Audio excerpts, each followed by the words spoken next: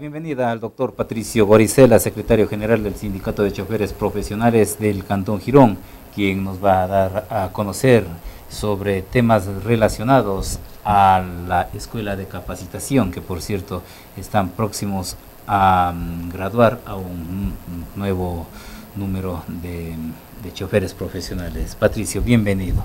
Están reiterando la pregunta, están próximos a culminar un nuevo periodo de preparación de conductores. Sí, efectivamente, Eloy, eh, para, para este, en 15 días tenemos programado la investidura de un número, si bien cierto, no muy significativo, tenemos 97 estudiantes que son quienes van a obtener ya el título de conductores profesionales, eh, se tiene programado el acto de investidura. Digo un pequeño grupo, porque si comparamos con los años anteriores, el número era más representativo, pero por ciertos cambios o reformas que se han dado a las exigencias, hay ciertas prohibiciones en donde no todos los estudiantes o los aspirantes están en capacidad de cumplir con esas exigencias, motivo por el cual hemos disminuido el número de estudiantes. Pero estamos en 15 días exactamente, nosotros estaríamos ya ofreciendo al país entero un número de 97 profesionales más que van a tener el título de conductores profesionales. ¿Ya terminaron las clases o continúan aún? Ya, nosotros, de acuerdo a la normatividad que se encuentra vigente, tenemos módulos. Ellos han concluido con todos sus módulos, han aprobado cada uno de sus módulos. Requisito indispensable para presentarse a los exámenes de grado es haber aprobado los módulos. En estos días, en las jornadas de lunes a viernes, Hemos concluido ya con la recepción de los exámenes de grado y en los estudiantes que se encuentran cursando en la jornada de sábado y domingo, en este domingo precisamente que se nos viene, terminarán la recepción de los exámenes de grado e inmediatamente viene con el acto formal que es la investidura. ¿Cómo está el sindicato de choferes en el ámbito de personal docente, de equipos, de vehículos para la preparación de conductores? Bueno, eh, partamos primero de que el sindicato es un organismo colegiado, hoy en eso es necesario que debamos advertir de lo que se haga o lo que no se haga en el sindicato de choferes depende exclusivamente del el consejo directivo el mismo que está conformado por seis miembros más el secretario general. Digo ello porque hay una normatividad que es demasiado exigente y drástica, donde nosotros tenemos que cumplir ciertas exigencias que incluso escapan de la posibilidad económica y otros aspectos para cumplir con ellos hay demanda efectivamente de que quienes hacemos el Consejo Directivo asumamos con responsabilidad esas exigencias que se tienen, como por ejemplo para conseguir la autorización del organismo rector que es la Agencia Nacional de Regulación y Control de Transporte Terrestre, Tránsito y Seguridad Vial, para que se nos autorice el funcionamiento de los cursos de capacitación para los ascensos y obtener la licencia tipo D, por cada 60 estudiantes nosotros tenemos que tener un bus para poder impartir las clases de conducción. Eso para nosotros consideramos que es un obstáculo grande. Vamos a suponernos de que de acuerdo a la campaña de promoción que se realice, nosotros logramos conseguir un número de estudiantes de unos 360 estudiantes, que implicaría que como escuela de capacitación nos veríamos obligados a comprar seis buses que aproximadamente este rato están en un valor de a ver, unos 135 a 140 mil dólares. Cada uno. Cada uno. Eh, nosotros ya para iniciar el curso, porque esa fue la exigencia, hicimos ya una inversión. Y considero que con ligeros tropiezos para adquirir ese bus, pero sin embargo lo hicimos muy bien. Lo compramos el en el mes de diciembre, Ese bus lo adquirimos más o menos alrededor de 67 mil dólares, eh, lo que es el chasis. Pero mientras uno está en la administración aprende, yo estaba convencido de que el costo del chasis, del chasis era más que lo que significa una carrocería. Pero mientras hicimos los trámites correspondientes a Ambato, a Riobamba y Cuenca, que son las empresas donde están localizadas para la construcción de estos buses, eh, nos pudimos dar cuenta que más bien la carrocería costaba más cara. Es decir, se hizo un contrato que no estoy preciso la cantidad y no voy a, a, decirlo, sino a lo mejor en un momento cuando tenga los contratos para evitar especulaciones. Sin embargo, de ello, más o menos de esa inversión, este momento se nos indica que ese propio chasis que nosotros compramos en 67 o 68 mil dólares, este rato está sobre los 100 mil dólares. Entonces, desde ya comenzamos haciendo una, diría yo, una excelente inversión, va a ser una ganancia. Pero el problema no está ahí, porque no solo vamos a necesitar un bus. Entonces, ¿qué hemos hecho y hemos logrado conseguir en este caso del ente regulador que es la agencia? De que se nos permita hacer los contratos de alquiler de los vehículos. Es decir, ya el bus tenemos comprado, con eso tenemos para iniciar un curso, pero si de requerir y de tener una demanda del número de estudiantes para este tipo de licencia, ya estamos facultados para entrar en conversaciones con dueños o propietarios de los buses, con la propia cooperativa de transportes Quirón o alguna otra cooperativa, para ver si consigo, seguimos en arrendamiento los buses que necesitamos para poder impartir esas, esas clases. Ahora, estas exigencias, Patricio, eh, como ser del contar con el bus, esto va a redundar también en el costo del certificado o del título o de la licencia. Bueno, ahí estamos más bien en una encrucijada. Y yo diría bien por los aspirantes, diría que es acertada la decisión, en este caso de la Agencia Nacional, porque nos están regulando. Es decir, los precios de los cursos de capacitación no lo establecemos nosotros, sino estos son regulados a nivel nacional. La Agencia de Regulación y Control es quien establece un precio y a ese precio nosotros todos los sindicatos del país, las escuelas de capacitación que regentamos, los sindicatos de choferes, tenemos la obligación de sujetarnos a ello. No podemos cobrar un centavo más o un centavo menos.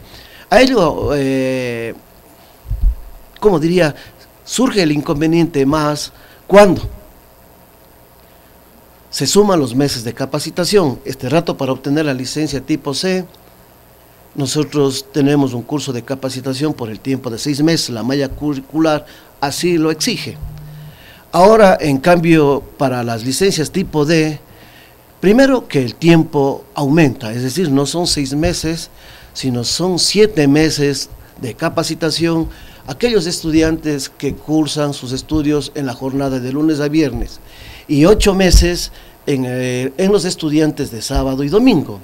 Es decir, aumenta el tiempo de responsabilidad y de compromiso que tenemos para impartir las clases y el costo ha bajado. Es decir, está regulado que el costo asciende a 1.026 dólares con 50 centavos. Ahora, ¿por qué ello? Porque efectivamente las estadísticas están demostrando que, que el nivel o el grado de accidentalidad no ha disminuido. ¿Qué es lo que iba a pasar? Nosotros como escuelas de capacitación siempre hemos estado peleando por el costo y la disminución del tiempo para que quede algún rédito para nuestras escuelas de capacitación y para nuestros sindicatos. Pero en ese sentido, la agencia lo ha dicho y con mucha precisión, ¿sí? Si con seis meses de capacitación el nivel de accidentalidad no baja, nosotros tenemos que incrementar y esta vez siete u ocho meses, para lo próximo será un año o dos años, porque solamente con la capacitación, aumentando el tiempo de capacitación, nosotros vamos a disminuir. Y aquí nos pone freno. Se aumentará el tiempo, pero los costos para el usuario no podrán aumentarse desmedidamente, sino acorde a la realidad. Si esa situación nos deja con margen de utilidad mínima. Pero sin embargo, hay que recordarle hoy que nuestras escuelas de capacitación, los sindicatos, no son eh, instituciones de negocio, sino de servicio social.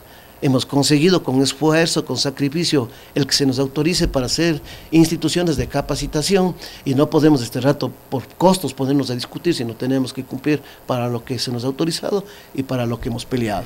Es decir, para obtener la licencia tipo C son seis meses al momento. Al momento. Y para, en caso de que se obtenga ya el permiso para ascenso a tipo D, serían siete meses los de lunes a viernes y ah, ocho meses eh, sábado y domingo. Aumenta un mes más en cada una de las jornadas. Patricio, ahora mm, con la proximidad de la graduación de los 97 estudiantes que al momento están en la escuela de conducción, se aproxima también ya un nuevo periodo de, llamado a inscripciones. Están ya aquí el sindicato de choferes promocionando aquello. Bien, sobre este aspecto quiero ser muy puntual, Eloy, y participar a la ciudadanía. Primero que nosotros ya contamos con la autorización para iniciar los cursos de capacitación para aquellos aspirantes que quieran obtener la licencia tipo C. En esta semana existe el compromiso muy formal de la directora nacional para entregarnos ya la autorización de el curso de capacitación para la licencia tipo D. Es decir, la ciudadanía tiene que saber diferenciar muy bien entre lo que es inscripción y lo que es matriculación. Este momento me permite hacer la invitación a todos los aspirantes, al pueblo de Quirón, a todos los TV escuchas y que estos medios de comunicación lleguen a acceder. Les invitamos a quienes aspiren a obtener la licencia tipo C, a seguir el curso de licencia tipo C, estamos ya matriculando. Y para quienes estén interesados en participar en matricularse en los cursos para la obtención de la licencia tipo D. La, en esta semana, en este transcurso de la semana, ha sido muy formal porque tenemos el apoyo del señor ministro del Interior y además de la directora nacional, el compromiso formal de que en esta semana, superados ciertos inconvenientes de los proyectos, se nos entrega inmediatamente a nivel del país las escuelas que se ha conseguido la autorización, vamos a iniciar con la matriculación. Es necesario también advertir el hoy porque a veces se ha convertido un tema de cuestionamiento del por qué estábamos involucrados en ciertos actos proselitistas con el gobierno. Hay un compromiso de la mancomunidad, nosotros somos parte de la mancomunidad del sur, en donde participan los sindicatos de la SUAY, Cañar, Loja y Morona Santiago. Estos sindicatos nos hemos puesto de acuerdo y hemos iniciado nuestras gestiones de manera directa con el doctor José Serrano, ministro del Interior, quien como coterráneo de Cuenca, quien como eh, un funcionario del gobierno más allegado a, la provincia de la SUEY mismo, nos ha manifestado y entregado todo de sí para ayudarnos en esta gestión. Y prueba es que el día, el día viernes que pasó, ya tuvimos una reunión ampliada en el Coliseo Deportivo del Sindicato de Choferes, donde ya se hizo la entrega de preaprobaciones a nueve sindicatos de la mancomunidad.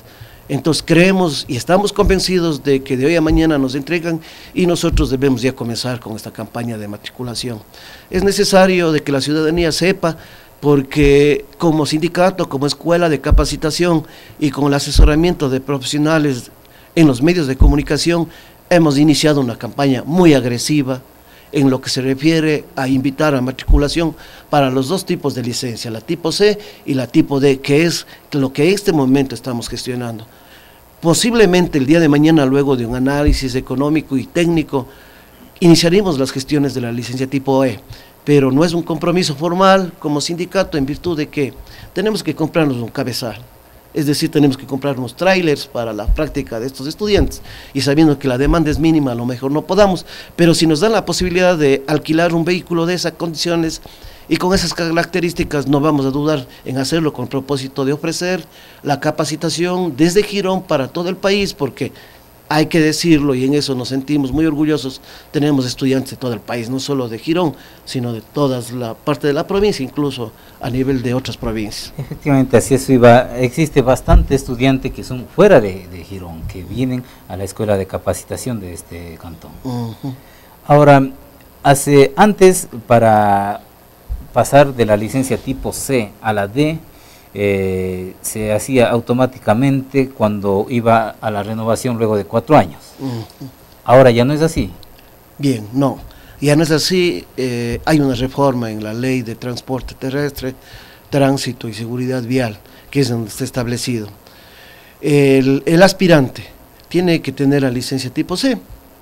Y una vez que ya quienes este rato tienen la licencia tipo C, les toca decidir si es que quieren ser conductores de un bus interprovincial, intraprovincial, como se denomina, o si quieren ser conductores de vehículos pesados como los trailers o cabezales, como se les llama, ellos tienen que seguir un nuevo curso. Los unos para la licencia, para los buses tipo D y los de trailers la licencia tipo E. Tienen que seguir un curso que está establecido de siete meses para una jornada y de ocho meses para la otra jornada, con los valores.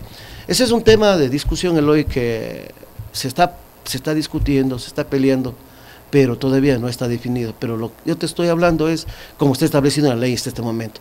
Quienes necesitan este rato, por ejemplo, los estudiantes que han egresado tienen la licencia tipo C. Ellos no están permitidos, no están capacitados, no cumplen con la normatividad para manejar un bus.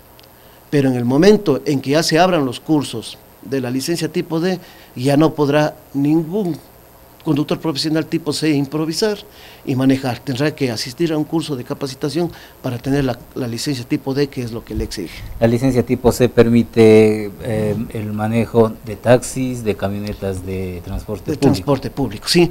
Es decir, aquellos vehículos que tienen un solo o chulla eje que se llama. Es decir, cuatro llantas, ¿no? Porque ya cuando tiene doble llanta en la parte posterior, ya pasa a ser de otra categoría y se constituiría en, otra, en otra categoría y por lo tanto necesita un tipo de licencia diferente. Patricio, ¿algo más que acotar antes de cerrar esta entrevista? Eh, insistir en mi invitación cuando se nos autoriza las matrículas, está establecido como norma, solamente tenemos 30 días para matricular tanto en cada uno de los cursos que, se, que nos organicemos, por lo que por las experiencias que se han vivido, solicito que no dejemos para el último. Los requisitos están establecidos con mucha claridad.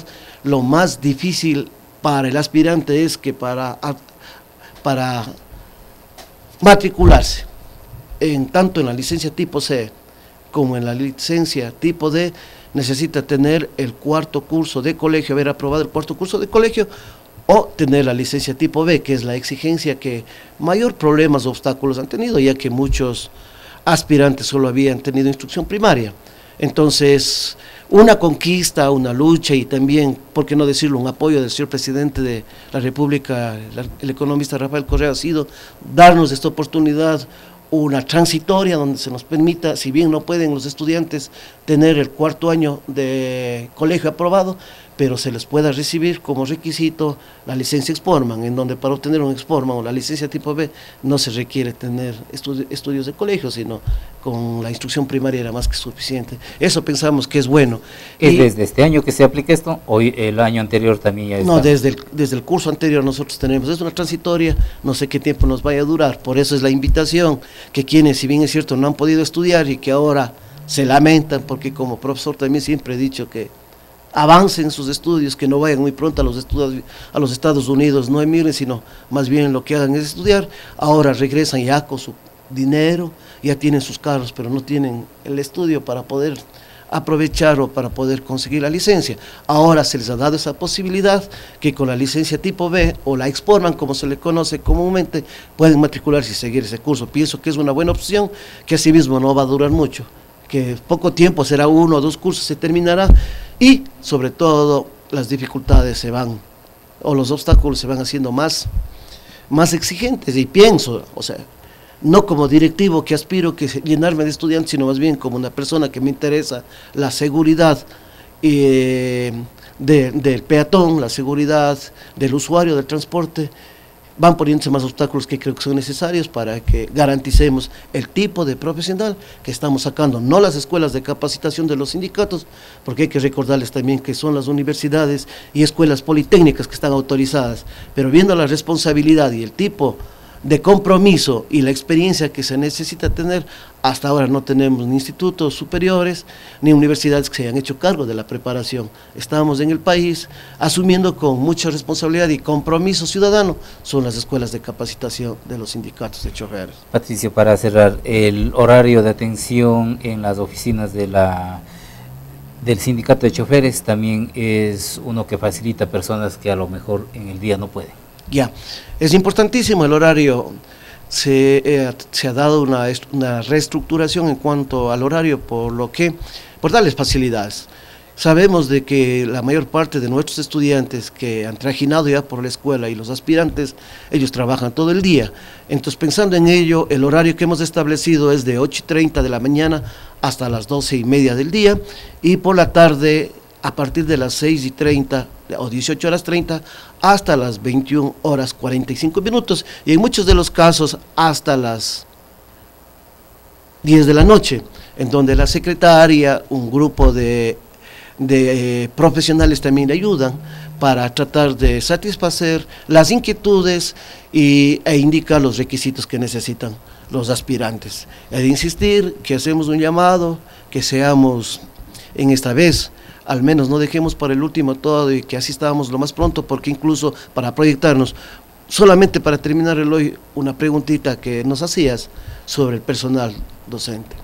A más de que hay un consejo directivo que es muy exigente, a más de que tenemos eh, nuestra responsabilidad también, el propio reglamento para el funcionamiento de las escuelas de capacitación exige un currículo de los profesionales de tercero y cuarto nivel.